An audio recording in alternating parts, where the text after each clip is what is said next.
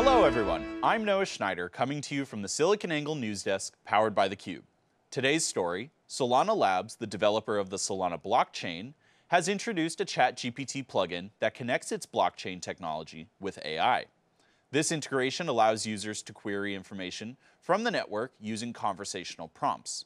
The AI-powered plugin enhances usability and comprehension by providing a conversational interface. While the plugin currently focuses on describing on-chain objects, the ability to create NFT collections and write to the blockchain is planned for the future. From the SiliconANGLE News Desk, I'm Noah Schneider. Thanks for joining us.